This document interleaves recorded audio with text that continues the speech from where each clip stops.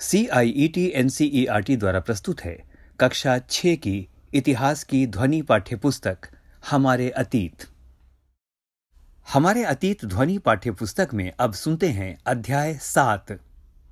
शीर्षक है, अशोक, एक अनोखा सम्राट जिसने युद्ध का त्याग किया। अध्याय सात, अशोक, एक अनोखा सम्राट जिसने युद्ध का त्याग किया। रोशन के रुपए। जन्मदिन पर रोशन को दादाजी से कड़क नोट मिले। उसने उन्हें अपने हाथ में दबा रखा था। उसे एक नया सीडी खरीदने का बहुत मन था। लेकिन साथ ही वह बिल्कुल नए कड़क नोटों को देखना और छूकर महसूस करना चाहती थी। तभी उसने पाया कि सभी नोटों में दाहिनी तरफ़ गांधी जी का मुस्कुराता चेहरा बना हुआ था और बाईं तरफ़ छोटे छोटे शेर चित्रित थे। उसने सोचा, आखिर यहाँ शेर क्यों बने हुए हैं? एक बहुत बड़ा राज्य, एक साम्राज्य। हम जिन शेरों के चित्र रुपयों पैसों पर देखते हैं, उनका एक लंबा इतिहास है। उन्हें पत्थरों को काटकर बनाया गया था और फिर उन्हें सारनाथ में एक विशाल स्तंभ पर स्थापित किया गया था। इस विषय में तुमने अध्याय छह में पढ़ा है। इतिहास के महानतम राजाओं में से एक, अशोक के निर्देश पर इसके जैसे कई स्तंभों और पत्थरों पर अभिलेख उत्कीर्ण किए गए। इसके पहले कि हम यह जानें कि इन अभिलेखों में क्या लिखा है, यह समझने की कोशिश करें कि उनके राज्य को साम्राज्य क्यों कहा जाता है। अशोक जिस साम्राज्य पर शासन करते थे उसकी स्थापना उनके दादा चंद्रगुप्त मौर्य ने लगभग 2300 साल पहले की थी। चाणक्य या कौटिल्य नाम के एक बुद्धिमान व्यक्ति ने चंद्रगुप्त की सहायता की थी। चाणक्य के कई विचार हमें अर्थशास्त्र नाम की किताब में मिलते हैं। इस पृष्ठ पर एक बॉक्स दिया गया है और इसमें वंश के बारे बताया गया है। इसमें इस प्रकार से लिखा है, जब एक ही परिवार के कई सदस्य एक के बाद एक राजा बनते हैं तो उन्हें एक ही वंश का कहा जाता है। मौर्य वंश में तीन महत्वपूर्ण राजा हुए, चंद्रगुप्त, उसका बेटा बिंदुसार और बिंदुसार का पुत्र अशोक। पृष्ठ संख्या अड़सठ। इससे पहले कि पाठ में चलें, इस पृष्ठ पर एक मानचित्र दिया गया है और इस मानचित्र में उन स्थानों का उल्लेख है जहाँ अशोक के शिलालेख मिले हैं। आइए इसके बारे जानें। जिन जगहों पर अशोक के शिलालेख मिले हैं, उन्हें इस मानचित्र में लाल बिंदुओं से दिखाया गया है। ये सारे इलाके साम्राज्य के भीतर थे। उन देशों के नाम बताओ जहाँ अशोक के अभिलेख मिले हैं। हाँ, ये भी बताओ, भारत के कौन से राज्य मौर्य साम्राज्य से बाहर थे? हाँ तो अब पाठ में चलें। साम्राज्य में बहुत से नगर थे। मानचित्र में उन्हें काले बिंदुओं से दिखाया गया है। इनमें साम्राज्य की राजधानी पाटलिपुत्र, उज्जैन और तक्षशिला जैसे नगर प्रमुख थे। तक्षशिला उत्तर, पश्चिम और मध्य एशिया के लिए आने जाने का मार्ग था। दूसरी तरफ़ उज्जैन उत्तरी भारत से दक्षिणी भारत जाने वाले रास्ते में पड़ता था। शायद नगरों में व्यापारी, सरकारी अधिकारी और शिल्पकार रहा करते थे। साम्राज्य के बहुत बड़े क्षेत्रों में किसानों और पशुपालकों के गाँव बसे हुए थे। मध्य भारत जैसे इलाकों में ज़्यादातर हिस्सा जंगलों से भरा हुआ था। वहाँ पर लोग फल, फूल का संग्रहण और जानवरों का शिकार करके जीविका चलाते थे। साम्राज्य के अलग अलग इलाकों में लोग भिन्न भिन्न भाषाएँ बोलते थे। पृष्ठ संख्या उनहत्तर। वे लोग शायद अलग अलग प्रकार का भोजन करते थे और यहाँ तक कि अलग अलग किस्म की पोशाक भी पहनते थे। एक प्रश्न यहाँ पर है, राज्य साम्राज्य से कैसे भिन्न है? सबसे पहली बात, चूँकि साम्राज्य राज्यों से बड़े होते हैं और उनकी रक्षा के लिए बड़ी सेनाओं की ज़रूरत होती है, इसीलिए सम्राटों को राजाओं की तुलना में ज़्यादा संसाधनों की ज़रूरत होती है। दूसरी बात इसी कारण उन्हें बड़ी संख्या में कर इकट्ठा करने वाले अधिकारियों की ज़रूरत होती है। साम्राज्य का प्रशासन। चूँकि मौर्य साम्राज्य बहुत बड़ा था, इसलिए अलग अलग हिस्सों पर अलग अलग ढंग से शासन किया जाता था। पाटलिपुत्र और उसके आसपास के इलाकों पर सम्राट का सीधा नियंत्रण था। इसका मतलब यह हुआ कि इस इलाके के गाँवों और शहरों के किसानों पशुपालकों, शिल्पकारों और व्यापारियों से कर इकट्ठा करने के लिए राजा अधिकारियों की नियुक्ति करता था। जो राजा के आदेशों का उल्लंघन करते थे, अधिकारी उनको सजा भी देते थे। इनमें से कई अधिकारियों को वेतन भी दिया जाता था। संदेशवाहक एक जगह से दूसरी जगह घूमते रहते थे और राजा के जासूस अधिकारियों के कार्यकलाप पर नज़र रखते थे। इन सब के ऊपर सम्राट था, जो राज परिवार एवं वरिष्ठ मंत्रियों की सहायता से सब पर नियंत्रण रखता था। मौर्य साम्राज्य के भीतर कई छोटे क्षेत्र या प्रांत थे। इन पर तक्षशिला या उज्जैन जैसी प्रांतीय राजधानियों से शासन किया जाता था। कुछ हद तक पाटलिपुत्र से इन क्षेत्रों पर नियंत्रण रखा जाता था और अक्सर राजकुमारों को वहाँ का राज्यपाल या गवर्नर बनाकर भेजा जाता था। लेकिन ऐसा लगता है कि इन जगहों पर स्थानीय परंपराओं और नियमों को ही माना जाता था। प्रादेशिक केंद्रों के बीच विस्तृत क्षेत्र थे। इनके इलाकों में मौर्य शासक सिर्फ़ मार्गों और नदियों पर नियंत्रण रखने की कोशिश करते थे, जो कि आवागमन के लिए महत्वपूर्ण थे। पृष्ठ संख्या सत्तर। यहाँ से उन्हें जो भी संसाधन, कर और भेंट के रूप में मिलते थे, उसे इकट्ठा किया जाता था। उदाहरण के लिए, अर्थशास्त्र में यह लिखा है कि उत्तर पश्चिम कंबल के लिए और दक्षिण भारत सोने और कीमती पत्थरों के लिए प्रसिद्ध था। संभव है कि संसाधन नजराने के रूप में इकट्ठे किए जाते थे। इस पृष्ठ पर दो बॉक्स बने हुए हैं। पहला बॉक्स नजराने का वर्णन करता है। नजराना, जहाँ कर नियमित ढंग से इकट्ठे किए जाते थे, वहीं नजराना अनियमित रूप से जब भी संभव हो, इकट्ठा किया जाता था। ऐसे नजराने विविध पदार्थों के रूप में प्रायः ऐसे लोगों से लिए जाते थे, जो स्वेच्छा से इसे देते थे। आइए अब दूसरे बॉक्स में चलें और यहाँ राजधानी में सम्राट की स्थिति का वर्णन है। इसका शीर्षक है, राजधानी में सम्राट। मेगस्थनीज, चंद्रगुप्त के दरबार में पश्चिम एशिया के यूनानी राजा सेल्यूकस निकेटर का राजदूत था। मेगस्थनीज ने जो कुछ देखा, उसका विवरण दिया। यहाँ हम उसके विवरण का एक अंश दे रहे हैं। मेगस्थनीज का विवरण। मेगस्थनीज कुछ इस प्रकार से लिखता है। सम्राट का जनता के सामने आने के अवसरों पर शोभा यात्रा के रूप में जश्न मनाया जाता है। उन्हें एक सोने की पालकी में ले जाया जाता है। उनके अंगरक्षक सोने और चांदी से अलंकृत हाथियों पर सवार रहते हैं। कुछ अंगरक्षक पेड़ों को लेकर चलते हैं। इन पेड़ों पर प्रशिक्षित तोतों का एक झुंड रहता है, जो सम्राट के सिर के चारों तरफ़ चक्कर लगाता रहता है। राजा सामान्यतः हथियार बंद महिलाओं से घिरे होते हैं। वे हमेशा इस बात से डरे रहते हैं कि कहीं कोई उनकी हत्या करने की कोशिश ना करे। उनके खाना खाने से पहले खास नौकर उस खाने को चखते हैं। वे लगातार दो रात एक ही कमरे में नहीं सोते थे। और पाटलिपुत्र, जो आज का आधुनिक पटना है, उसके बारे मेगास्थनीज ने कुछ इस प्रकार से लिखा है। आइए वर्णन को सुने। पटना के बारे में, यह एक विशाल और खूबसूरत नगर है। यह एक विशाल प्राचीर से घिरा है, जिसमें 570 बुर्ज और चौसठ द्वार हैं। दो और तीन मंजिल वाले घर लकड़ी और कच्ची ईंटों से बने हैं। राजा का महल भी काठ से बना है। जिसे पत्थर की नक्काशी से अलंकृत किया गया है। यह चारों तरफ़ से उद्यानों और चिड़ियों के लिए बने बसेरों से घिरा है। कुछ तुम्हारे सोचने के लिए। जरा सोचो और बताओ। राजा द्वारा खाना खाने से पहले खास नौकर उस खाने को क्यों चखते थे? एक बात और, पाटलिपुत्र मोहन जोदड़ो से किस तरह भिन्न था? संकेत, अध्याय तीन देखो। पृष्ठ संख्या इकहत्तर।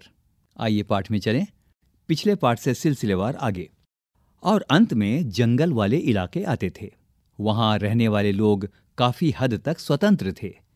उनसे यह उम्मीद की जाती थी कि वे मौर्य पदाधिकारियों को हाथी, लकड़ी, मधु और मोम जैसी चीज़ें लाकर दें। अशोक, एक अनोखा सम्राट। अशोक मौर्य वंश के सबसे प्रसिद्ध शासक थे। वह ऐसे पहले शासक थे जिन्होंने अभिलेखों द्वारा जनता तक अपने संदेश पहुँचाने की कोशिश की।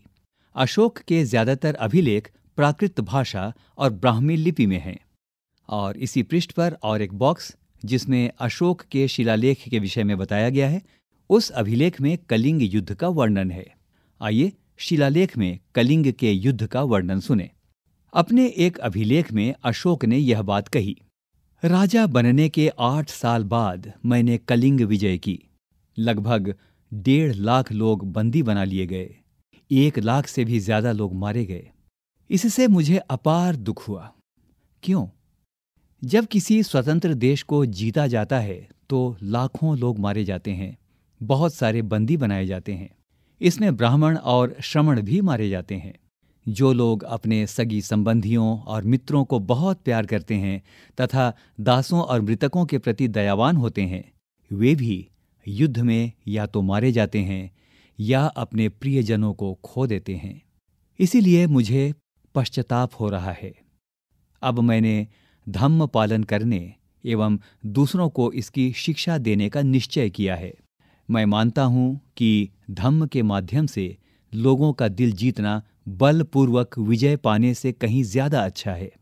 मैं यह अभिलेख भविष्य के लिए एक संदेश के रूप में इसलिए उत्कीर्ण कर रहा हूँ कि मेरे बाद मेरे बेटे और पोते भी युद्ध ना करें।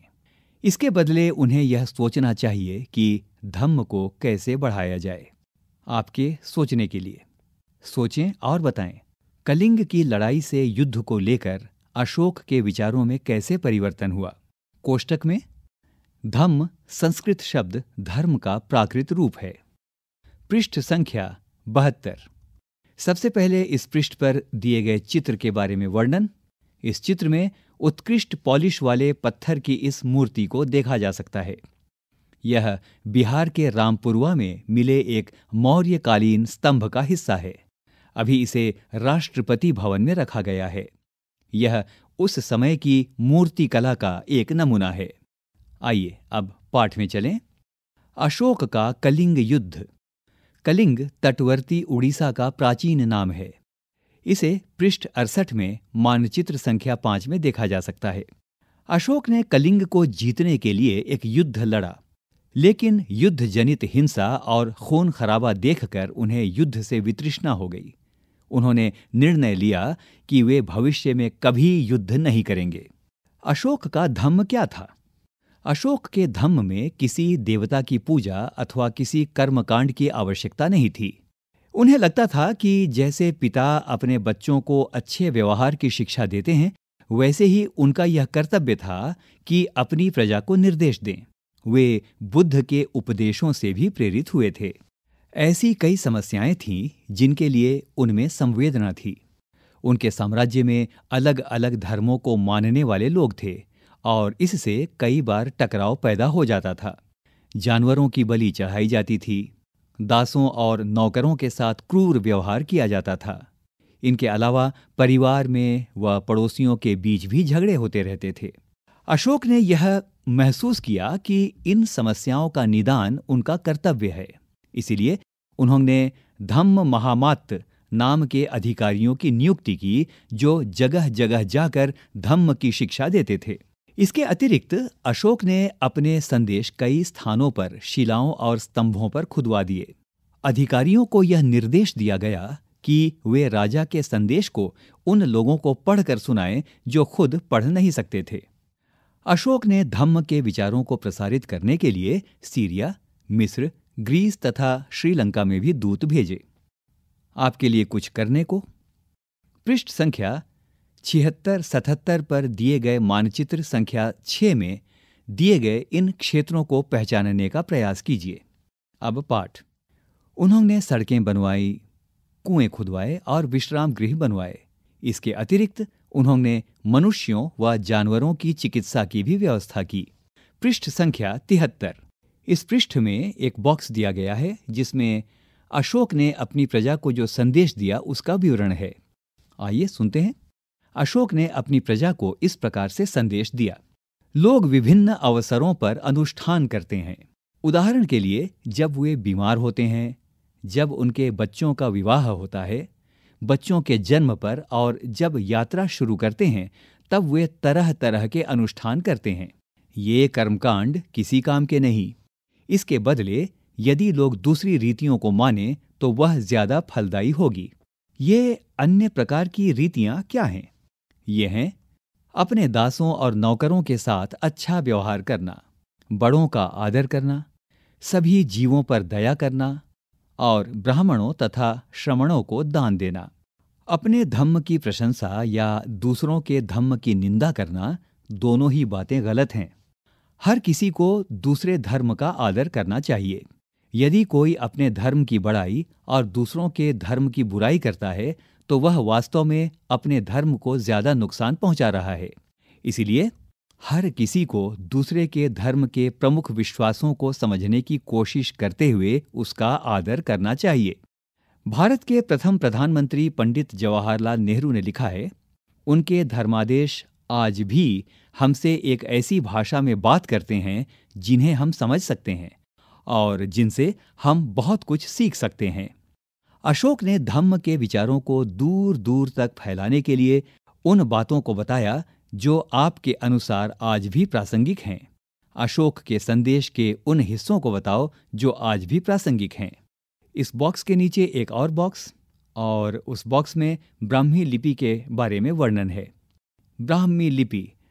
आधुनिक भारत की ज़्यादातर लिपियाँ पिछले सैकड़ों वर्षों में ब्राह्मी लिपि से उत्पन्न हुई हैं। यहाँ आप अ अक्षर को अलग अलग भाषाओं की लिपियों में देख सकते हैं। इस बॉक्स में आरंभिक ब्राह्मी, देवनागरी यानी हिंदी, बांग्ला, मलयालम और तमिल की लिपियाँ हैं। पृष्ठ संख्या चौहत्तर। अन्यत्र। मौर्य साम्राज्य के उभरने से थोड़ा पहले, लगभग 2400 वर्ष पहले, चीन में सम्राटों ने चीन की दीवार का निर्माण शुरू किया। इसे बनाने का उद्देश्य उत्तरी सीमा की पशुपालक लोगों से रक्षा करना था। अगले 2000 वर्षों तक इस दीवार का निर्माण कार्य चलता रहा, क्योंकि साम्राज्य की सीमाएँ बदलती रहीं। यह दीवार लगभग 6400 किलोमीटर लंबी है तथा पत्थर और ईंट से बनी है। इसकी ऊपरी सतह सड़क जैसी चौड़ी है। इस दीवार को बनाने के लिए हज़ारों लोगों को काम करना पड़ा। हर 100-200 मीटर की दूरी पर इस पर निगरानी के लिए बुर्ज बने हुए हैं। जरा सोचो और बताओ, पड़ोसी देशों के प्रति अशोक का रवैया चीनी सम्राटों के रवैये से कैसे भिन्न था? इसी बॉक्स में चीन की दीवार का चित्र दिया गया है। यहाँ और एक बॉक्स दिया गया है, जिसमें उपयोगी शब्द दिए गए हैं। ये उपयोगी शब्द वो शब्द हैं, जिन शब्दों का प्रयोग इस पाठ में किया गया है। तो ये उपयोगी शब्द हैं, साम्राज्य, राजधानी, अधिकारी, संदेशवाहक, प्रांत, धम्म। आगे चलते हैं। कल्पना करो कल्पना करो कि तुम कलिंग में रहती हो। और तुम्हारे माँ बाप को युद्ध में काफ़ी दुख उठाने पड़े हैं। अभी अभी अशोक के दूत धम्म के नए विचारों को लेकर आए हैं। आप अपने माता पिता और संदेशवाहकों के बीच बातचीत का वर्णन करो। आओ, याद करें। एक, मौर्य साम्राज्य में विभिन्न काम धंधों में लगे हुए लोगों की सूची बनाओ। दो, रिक्त स्थानों को भरो। क जहाँ पर सम्राटों का सीधा शासन था, वहाँ अधिकारी खाली स्थान वसूलते थे। ख, राजकुमारों को अक्सर प्रांतों में खाली स्थान के रूप में भेजा जाता था। पृष्ठ संख्या पचहत्तर। ग, मौर्य शासक आवागमन के लिए महत्वपूर्ण खाली स्थान और खाली स्थान पर नियंत्रण रखने का प्रयास करते थे। घ, प्रदेशों में रहने वाले लोग मौर्य अधिकारियों को खाली स्थान दिया करते थे। तीन, बताओ कि ये वाक्य सही हैं या गलत? क, उज्जैन उत्तर पश्चिम की तरफ़ आवागमन के मार्ग पर था। सही या गलत? ख, आधुनिक पाकिस्तान और अफ़गानिस्तान के इलाके मौर्य साम्राज्य के अंदर थे। सही या गलत? ग चंद्रगुप्त के विचार अर्थशास्त्र में लिखे गए हैं। सही या गलत? घ, कलिंग बंगाल का प्राचीन नाम था। सही या गलत? अंगा, अशोक के ज़्यादातर अभिलेख ब्राह्मी लिपि में हैं। सही या गलत? आओ चर्चा करें। चार, उन समस्याओं की सूची बनाओ जिनका समाधान अशोक धम्म द्वारा करना चाहता था। पाँच धम्म के प्रचार के लिए अशोक ने किन साधनों का प्रयोग किया? छ, तुम्हारे अनुसार दासों और नौकरों के साथ बुरा व्यवहार क्यों किया जाता होगा? क्या तुम्हें ऐसा लगता है कि सम्राट के आदेशों से उनकी स्थिति में सुधार हुआ होगा? अपने जवाब के लिए कारण बताओ। आओ करके देखें। सात, रोशन को यह बताते हुए कि हमारे रुपयों पर शेर क्यों दिखाए गए हैं, एक पैराग्राफ लिखो। कम से कम एक और चीज़ का नाम लो, जिस पर इन्हीं शेरों के चित्र बने हैं। आठ, अगर तुम्हारे पास अपना शिलालेख जारी करने की शक्ति होती तो तुम कौन सी चार राजाज्ञाएँ देते? इसी पृष्ठ पर एक और बॉक्स जिसमें कुछ महत्वपूर्ण तिथियाँ दी गई हैं। मौर्य साम्राज्य की शुरुआत 2300 साल पहले। पृष्ठ संख्या छिहत्तर। पृष्ठ संख्या छिहत्तर में मानचित्र संख्या 6 है, जिसमें रेशम मार्ग सहित महत्वपूर्ण व्यापारिक मार्ग दिखाए गए हैं। इसमें अलग अलग रंगों द्वारा अलग अलग मार्ग दिखाए गए हैं। पहला मार्ग, इस मानचित्र में मरून रंग के मार्गों को यदि आप देखेंगे तो ये मार्ग चीनी शासकों के नियंत्रण में थे। हरे रंग में जो मार्ग दिखाए गए हैं, ये मार्ग कुषाणों के नियंत्रण में थे। अध्याय नौ में इसका वर्णन मिलेगा। हल्के हरे रंग से जो मार्ग दिखाए गए हैं, ये महत्वपूर्ण समुद्री मार्ग थे। लाल रंग से दिखाए गए मार्ग, वो मार्ग हैं जो ईरान या फारस के शासकों के नियंत्रण में थे। और अंतिम रंग हल्का बैगनी रंग है, जिसके द्वारा जिन मार्गों को दिखाया गया है, उन मार्गों पर रोमन शासकों का नियंत्रण था। पृष्ठ संख्या सतहत्तर।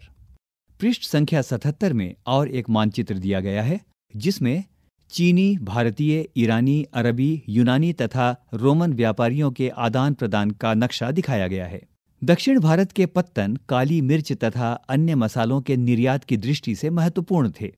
उन पत्तनों को आप इस नक्शे में देख सकते हैं। मानचित्र में पोडुका, यानी दक्षिण भारत ढूंढो। अरिका मेडू का यह रोमन नाम था। इसका वर्णन अध्याय आठ में हमें मिलता है। यह मानचित्र the Times Atlas of World History, जिसका संपादन जोफ्रे बराकलो ने किया है, उसके सौजन्य से लिया गया है। हैमंड इंक, न्यू जर्सी 1986 पृष्ठ संख्या 70 और 71 में यह पाया जाता है। पृष्ठ संख्या 78 आगे की बात। इस बॉक्स में सबसे पहले दिए गए चित्रों का वर्णन। सबसे पहला चित्र हिंद यवन काल के सिक्के का है। दूसरा चित्र उस सिक्के का है जो कुषाण काल में प्रचलित था। तीसरा चित्र शक काल के सिक्के का है और चौथा चित्र सातवाहन काल के सिक्के का है। आइए अब इसके वृतांत में चलें। आगे की बात। लगभग 2200 वर्ष पहले मौर्य साम्राज्य का पतन हो गया। इनके स्थान पर साथ ही कुछ अन्य जगहों पर भी कई नए राज्यों का उदय हुआ। पश्चिमोत्तर में तथा उत्तर भारत के कुछ भागों में करीब 100 सालों तक हिंद यवन राजाओं का शासन रहा। इसके बाद पश्चिमोत्तर, उत्तर तथा पश्चिमी भारत पर शक नामक मध्य एशियाई लोगों का शासन स्थापित हुआ। इनमें से कुछ राज्य लगभग 500 वर्षों तक टिके रहे, जब तक कि शक शासकों को गुप्त शासकों से पराजय नहीं मिल गई। इसका वृतांत हमें अध्याय 10 में मिलेगा। शकों के बाद कुषाणों लगभग 2000 वर्ष पहले का शासन स्थापित हुआ। अध्याय नौ में तुम कुषाणों के बारे में और अधिक जानोगे। उत्तर तथा मध्य भारत के कुछ इलाकों में मौर्य सेना नायक पुष्यमित्र शुंग ने एक राज्य की स्थापना की। शुंगों के बाद कण्व और कुछ और वंशों का शासन तब तक चला जब तक लगभग 1700 वर्ष पूर्व गुप्त साम्राज्य की स्थापना हुई। हमने सुना कि पश्चिमी भारत के कुछ हिस्सों पर शकों का शासन था। यहाँ पश्चिमी भारत तथा मध्य भारत पर शासन कर रहे सातवाहन शासकों के साथ इनके कई युद्ध हुए। लगभग 2100 साल पहले स्थापित सातवाहन राज्य लगभग 400 वर्षों तक टिका रहा। लगभग 1700 वर्ष पहले मध्य तथा पश्चिमी भारत में वाकाटक वंश का शासन स्थापित हुआ। दक्षिण भारत में 2200 से 1800 साल पूर्व के बीच चोलों, चेरों तथा पांड्यों ने शासन किया। लगभग 1500 साल पहले पल्लवों और चालुक्यों के दो बड़े राज्यों की स्थापना हुई। इसके अलावा और भी कई राज्य और राजा थे। इनके बारे में हमें उनके सिक्कों, पांडुलिपियों तथा पुस्तकों से पता चलता है। इन सब के साथ साथ अनेक ऐसे परिवर्तन भी हो रहे थे जिनमें सामान्य स्त्री पुरुषों का महत्वपूर्ण योगदान था। इनमें कृषि का प्रसार, नए शहरों का विकास, उद्योग तथा व्यापार में प्रगति थी। व्यापारियों ने एक तरफ़ जहाँ उपमहाद्वीप के अंदर तथा बाहर ज़मीन के रास्तों की खोज की, वहीं पश्चिम एशिया, पूर्वी अफ्रीका तथा दक्षिण पूर्वी एशिया, जो मानचित्र छह में देखा जा सकता है, कि समुद्री रास्ते भी खुले। मंदिरों स्तूपों तथा अन्य इमारतों का निर्माण हुआ। किताबें लिखी गईं, साथ ही वैज्ञानिक खोजें भी हुई। ये सारी बातें साथ साथ हो रही थीं। इस पुस्तक के बाकी हिस्सों को पढ़ते समय तुम इन बातों को ध्यान में रखना। अभी आप सुन रहे थे कक्षा छह की इतिहास की पाठ्यपुस्तक हमारे अतीत का सातवां अध्याय। शीर्षक था, अशोक एक अनोखा सम्राट जिसने युद्ध का त्याग किया। निर्माण सहयोग शानु मुक्सीम, वाचन स्वर और निर्माण अजीत होरो तथा प्रस्तुति C I E T N C E R T New Delhi, Bharat.